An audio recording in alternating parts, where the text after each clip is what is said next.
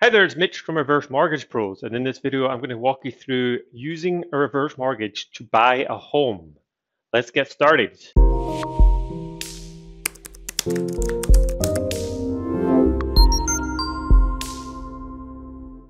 Okay, if you're new to my channel, I provide free professional help with your reverse mortgage decision to make sure you get the best possible available information on reverse mortgages in Canada hit the subscribe button below this video or the thumbs up, and then you'll get all my videos and content delivered to you. Everything is completely free to help you decide if a reverse mortgage is right for you.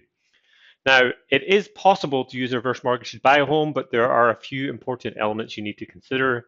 Unfortunately, you cannot get a pre-approval. I'm going to explain why in this video, and I'm also going to walk you through the process of buying a home reverse mortgage and how it would work in practice using an example. So before I get started, as I do at the start of every video, I'm just going to walk you through what is a reverse mortgage in 20 seconds. It's a mortgage for homeowners 55 and over. It doesn't require any repayment. You can get 10 to 55% of your home's value, depending on age, property, and location. You can take as much money as you like, but you must pay off any existing mortgage on your home first. And it's designed to help you tap into your home equity for retirement and continue to live in your home for the rest of your life. In this video, I'm going to walk you through using a reverse mortgage to purchase a home in Canada. So let's start with the basic numbers here.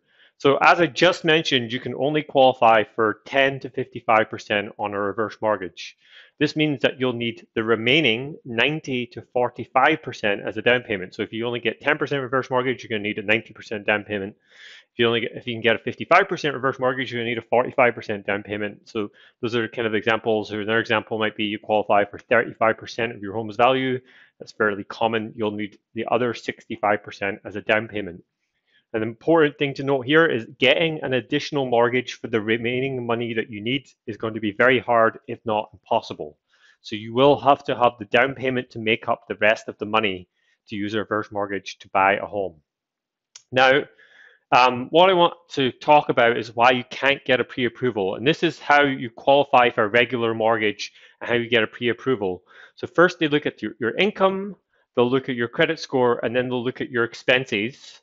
And based on all of those, they'll run some calculations and they'll give you a dollar amount for the amount of mortgage that you can get. This is with a regular traditional mortgage. This is how a pre-approval works. You get given a dollar amount that you can afford for a mortgage based on your income, credit score, and expenses. A reverse mortgage qualification is completely different.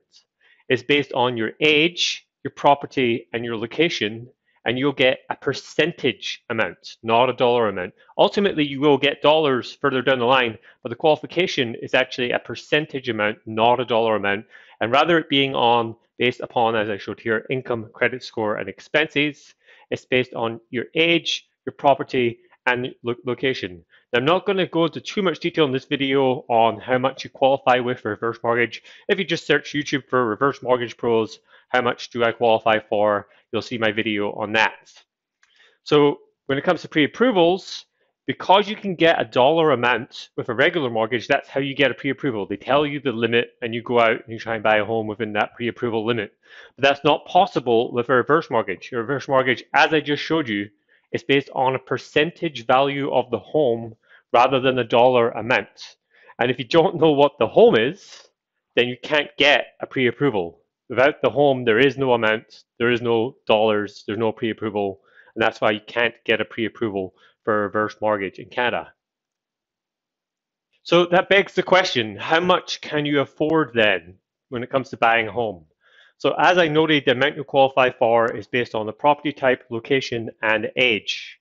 But since you don't know the property or location, then you're going to have to use estimates to figure out how much you can get for a reverse mortgage to buy the home. So what you can do is pick some properties in the area or areas that you're looking at and get an estimated range of the reverse mortgage you can get based on those estimates. So here's an example using some estimates. So let's see, um, I've got a client called John, and this is completely made up, and he's looking to buy a detached home in either Kitchener, Waterloo, Cambridge, or Guelph.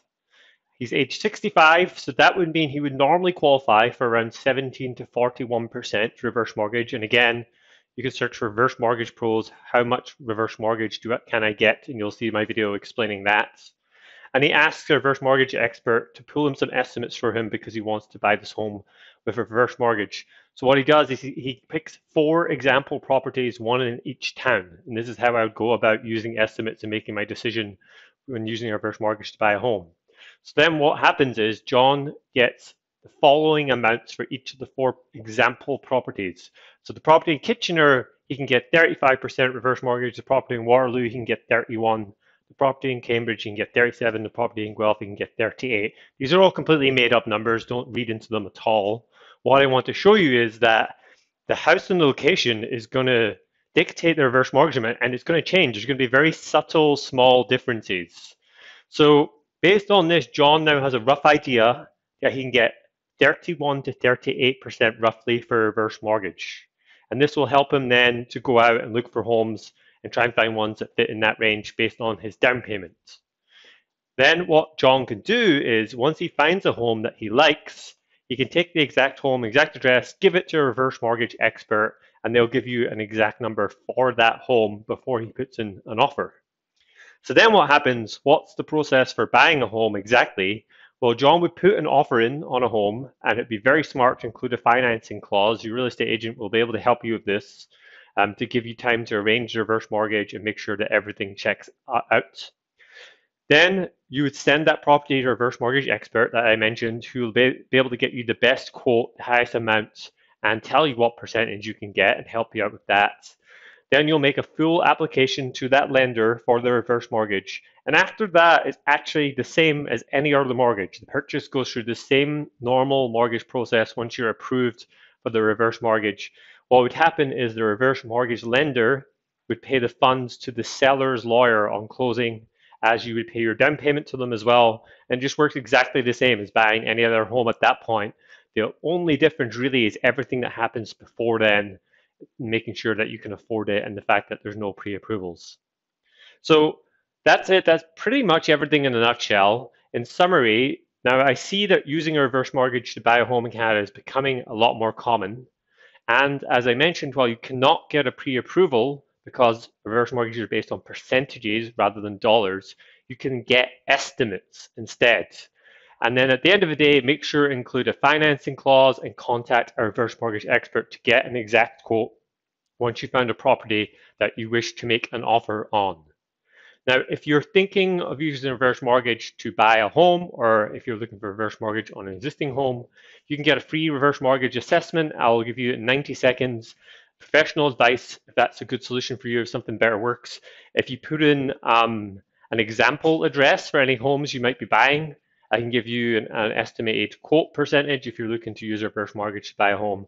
Everything is completely free. All you need to do is go to reversemortgagepros.ca forward slash assessment. That's reversemortgagepros.ca forward slash assessment. I hope this helps. If you have any questions or comments with regards to buying a home with a reverse mortgage, leave them in the comment section below and I, I try to answer every single question I get on every single video. I hope this helps and have a good day.